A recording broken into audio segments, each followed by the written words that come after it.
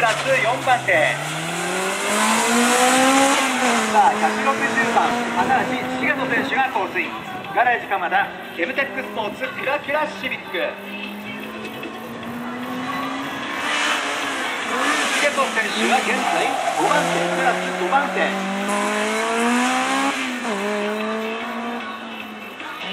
さあこのマシンは最終号車で吉木紀之選手がドライブすることになっておりますがもうちょっと入り口でアンダーをアンダーを出してしまったが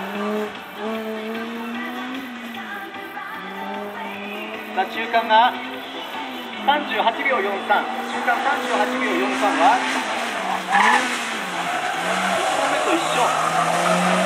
これもなかなかのタイムで中間は抜けていきました。